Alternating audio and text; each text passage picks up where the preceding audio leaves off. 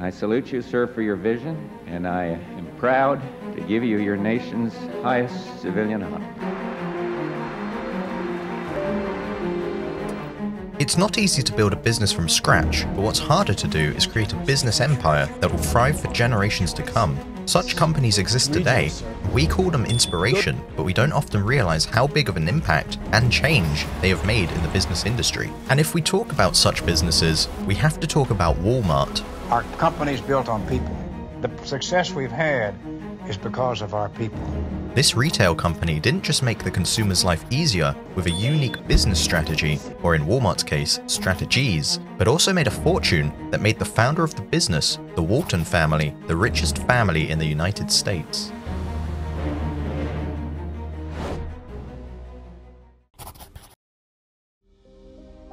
On March 29, 1918, Thomas Gibson Walton and Nancy Lee welcomed their child, Samuel Moore Walton, aka Sam Walton, into their life. Sam Walton was raised in a hard-working family that taught him the importance of consistent hard work in his early life. When Sam Walton was a teenage boy, he was already working multiple small jobs to support his family. But things weren't going smoothly at his home because of the tension building between Sam Walton's parents. To keep himself out of trouble, Sam Walton focused on other activities, such as sports and the Boy Scouts. From these activities, Sam Walton also learned other skills such as leadership, which helped him dearly when he decided to join the army when World War II began in 1939.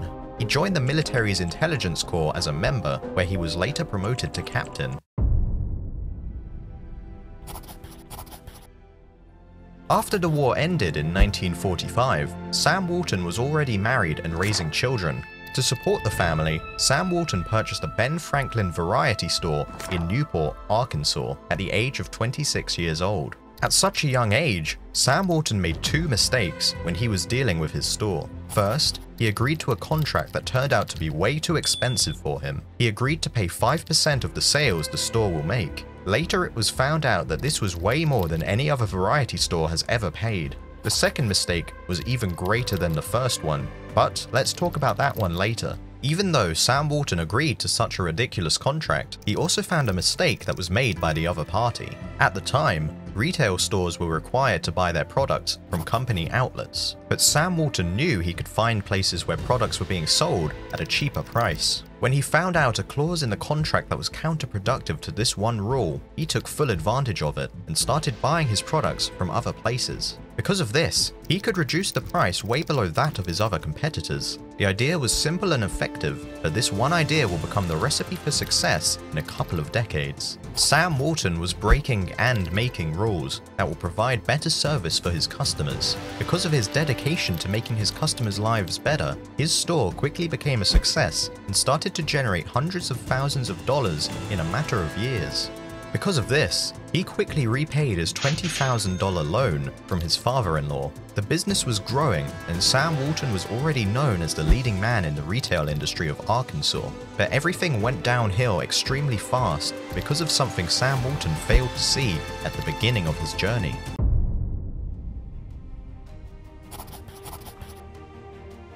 When Sam Walton was growing his business and gaining a reputation as a businessman, the store landlord, PK Holmes, decided to act on it. He liked the way the store was making money, so he thought that it would be great if he can regain control of the store and set his sons as businessmen there. Because of that, he refused to renew the contract. The second mistake was that when Sam Walton signed the contract in 1945, that contract didn't have any renewal contract clause, something very common in the retail industry. Because of that, PK Holmes could simply reject Sam Walton's renewal offer and later counter-offered him to buy the store from him. Suddenly, Sam Walton, a rising businessman with a successful retail shop, had to give it all up. One oversight cost him a good start, and now he had to start all over.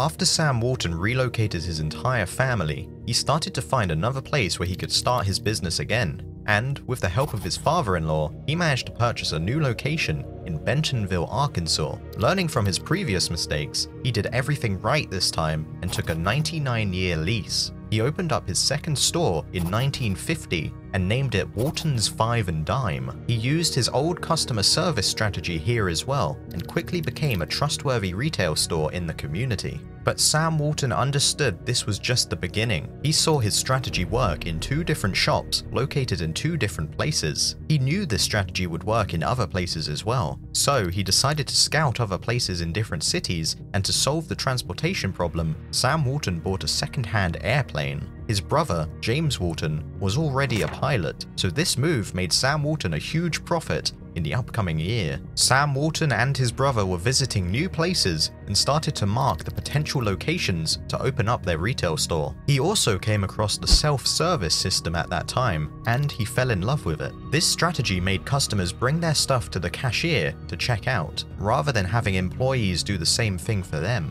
This way, Sam Walton saw an opportunity to reduce his price even more by employing less workers. Sam Walton put this self-service into action at his other shops. The response was overwhelming, and this one trick tripled his business. Sam Walton had enough to expand his empire into other states, and he slowly became the greatest project entrepreneur in the retail chain industry. By the end of the 50s era, Sam Walton already owned 15 shops, and all of them were profitable. But he also understood that his strategies could make significantly more money than it was making. What he wanted to do was make one store that had everything at a lower price for consumers, and to build such a store, he needed a bigger place. Such stores existed at the time, but those stores had limitations, like they were only located in cities and they had only offered discounts on select products. Sam Walton knew his strategy was better, and he needed to act on this. But the company that franchised the Ben Franklin Variety Store refused this idea because it was less profitable for them.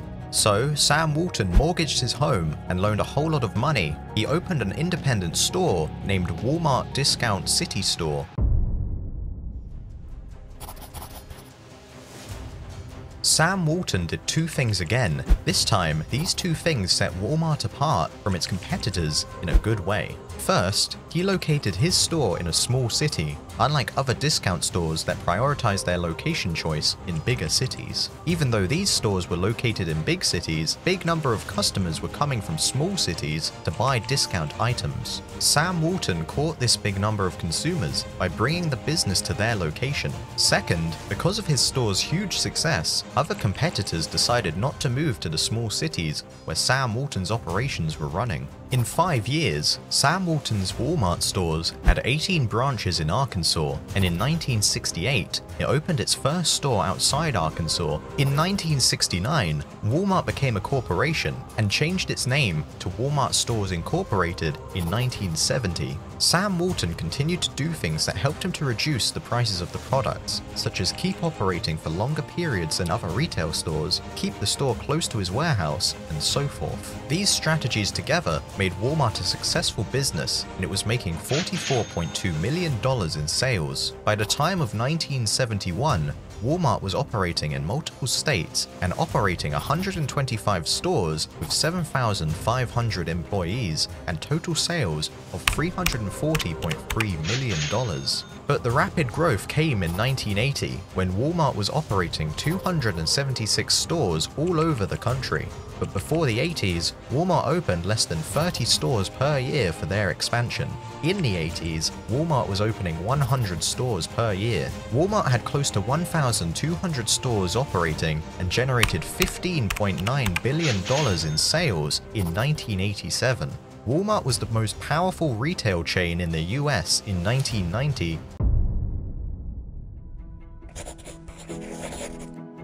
Today, Walmart is sitting on a fortune of over $343.74 billion, making the Walton family the richest family in the world and also making Walmart the most successful company. This company successfully fought a couple of economical disasters in the USA and the pandemic in 2020 and kept profiting anyway. Walmart is still running with their customer satisfaction strategy, which makes them trustworthy and reliable in today's market. Walmart's continuous evolution and understanding of the market kept them the leading retail business, and there's no sign of decline visible anytime soon. They're thriving, and the success story will likely continue.